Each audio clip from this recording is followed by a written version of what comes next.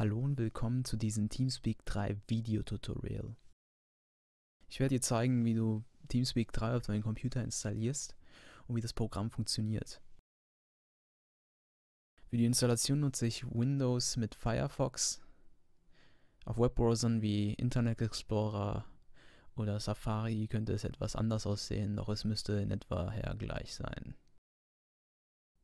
Was wir nun als allererstes tun müssen, ist auf www.teamspeak.com gehen.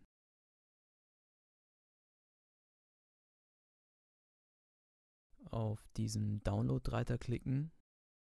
Dies sollte nun die Download-Seite für die verschiedenen Betriebssysteme öffnen. Wenn du dir nicht sicher bist, welchen Client du laden solltest, probiere als erstes die 32-Bit-Variante. Sobald du den Client ausgewählt hast, gelangst du auf die Teamspeak Endbenutzer-Lizenzvertragsseite. Scrolle nun bis ganz nach unten, klicke auf Ich bin einverstanden und speichere die Datei. Sobald es fertig geladen ist, doppelklicke auf dem Teamspeak 3 Icon in dieser Downloads-Liste. Nachdem es geladen hat, sollte so ein Teamspeak 3 Installationsassistent auftauchen, um die Installation zu beginnen. Klicke dich nun einfach durch.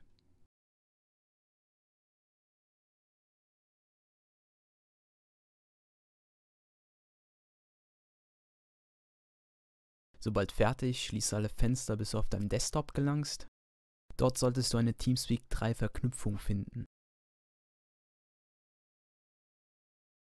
Doppelklicke darauf, um das Programm zu starten.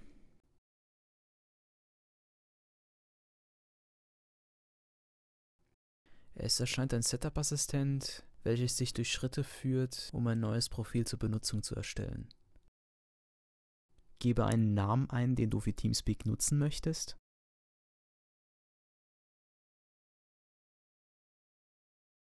Als nächstes solltest du einen sogenannten Hotkey auf deiner Tastatur zuweisen. Dieser Hotkey ist eine Taste auf deiner Tastatur, die dein Mikrofon aktiviert. Du hast ebenfalls die Möglichkeit, Sprachaktivierung auszuwählen, welche dein Mikrofon beim Hineinsprechen automatisch aktiviert.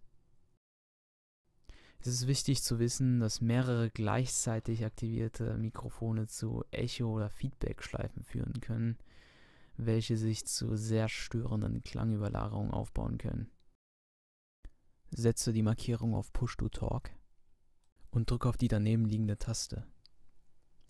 Jetzt drücke irgendeine Taste auf deiner Tastatur, die du als Hotkey nutzen möchtest.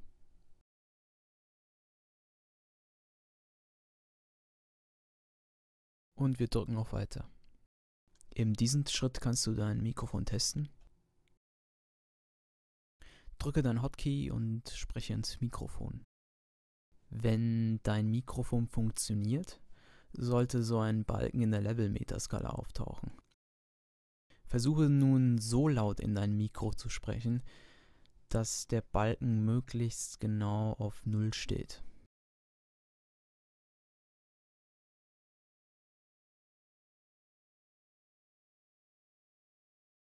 Wenn du fertig bist, klicke auf Weiter und wähle dir, falls gewünscht, einen Hotkey zum Deaktivieren der Lautsprecher.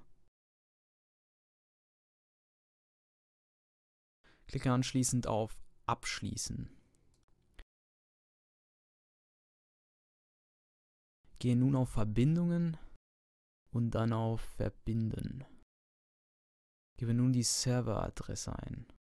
Die aktuellen Serverdaten solltest du in der Videobeschreibung finden. Sobald du alles richtig eingegeben hast, drücke auf Connected. Verbinden. Bei erfolgreichen Verbinden zum Server solltest du ein ähnliches Layout wie dieses hier sehen. Auf der linken Seite solltest du nun diese Liste mit Channels sehen. Um Channels zu minimieren oder maximieren, kannst du auf diese kleinen Plus-Minus-Kästchen hier klicken. Um einen Raum zu betreten, klicke einfach auf diesen Titel-Banner oder auf den Icon. Channel switched. Unten müsste dann ein neuer Tab erscheinen, der dir anzeigt, in welchem Raum du dich gerade befindest. Hier befindet sich auch die Text-Chat-Funktion.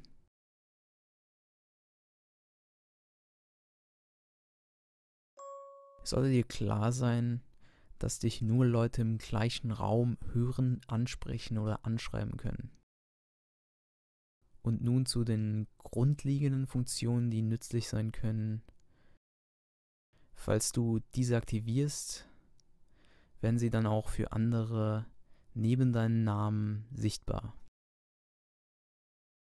Der Abwesen-Status-Knopf, wenn du mal vom Computer gehen musst. See you soon. Welcome back. Der Mikrofon-Stummschalten-Knopf, welches die Kommunikation über die Microphone Stimme muted. deaktiviert. Und der Lautsprecher-Stummschalten-Knopf, um die Stimmkommunikation von anderen. Benutzern zu deaktivieren.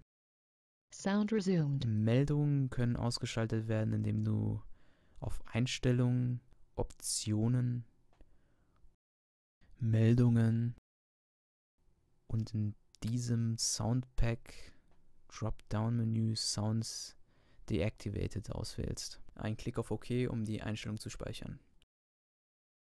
Ein Benutzer hat mir soeben eine private Nachricht geschickt. Die gesamte Textkommunikation wird unten angezeigt. Private Textunterhaltungen sind für andere Benutzer nicht sichtbar und können zum Kontaktieren von Benutzern genutzt werden, die sich in anderen Räumen aufhalten.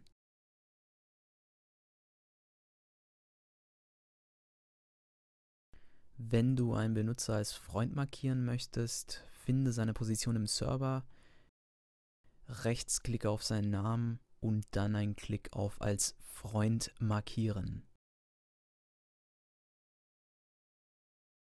Deine Kontakte werden im Server immer grün markiert. Mir wurde eine neue Textnachricht geschickt. Um sie einzusehen, klicke ich auf den blinkenden Tab.